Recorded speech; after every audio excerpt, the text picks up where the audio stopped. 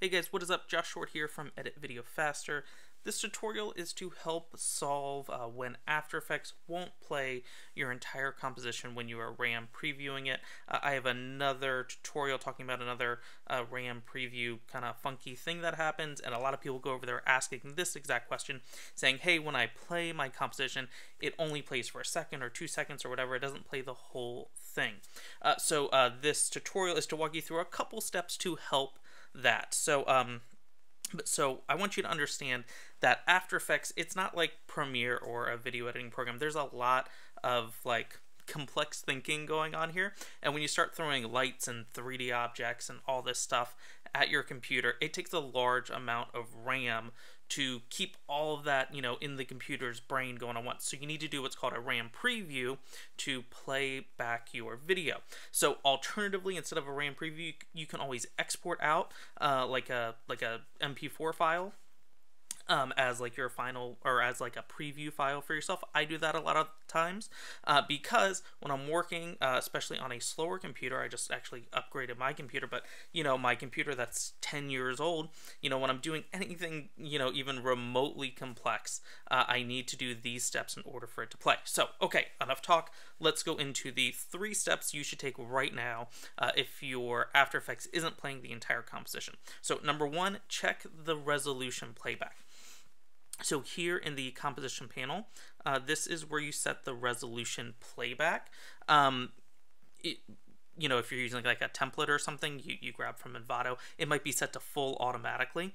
Uh, you want to go down and change it. Uh, you know, if it's going slow, uh, just drop it down to a quarter, see if that helps, and then do your RAM preview, see if, you know, more will load. You can see when I switched over to quarter from full, um, that bar that was here uh, it went away um, because it had to re, you know, calibrate, had to rethink the RAM preview. Um, okay, step number two is close out of other programs. Uh, and this might be like an old school, you know, mentality, but, um, you know, when you're you know, as a video editor, you don't keep other programs open if you don't need them. Um, so, because it slows down your computer, especially programs like Premiere. If you're going back and forth between After Effects and Premiere, I'm sorry, close out of Premiere if After Effects is giving you trouble, or just goes out of Premiere just in general.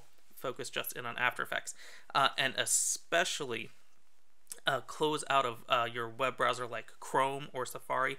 Chrome is a new notorious RAM hog. So it's going to steal you know all the computer's processing power that you're using in after effects over in chrome to play your spotify or whatever. Use your phone to play your music. Uh, and lastly, speaking of memory, uh, you want to adjust After Effects' uh, preferences for the memory settings to make sure you're giving After Effects enough juice. So to do that, go under After Effects, go to Preferences, and then go down here to Memory and Performance and I think uh, in older versions this is called memory. Uh, and here you see this RAM preserved for other applications. Uh, my computer is pretty beefy at 64 gigs. Um, yours might be, you know, something less, 32, 16.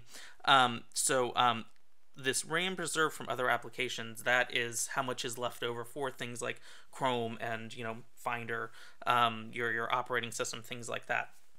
So my computer, uh, again, pretty beefy. Um, I have 52 gigs of RAM available for After Effects to use right now, and that's really good.